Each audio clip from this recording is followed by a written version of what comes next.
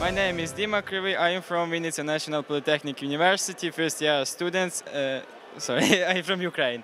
My project uh, was built to improve uh, rescue operation and anti-terrorist operation. Uh, it consists uh, of uh, robotics, personal and uh, program software with control. It's uh, very uh, nice uh, competition and I to compete i- i- is in my country uh, and when got uh, first place and uh, going to international etap.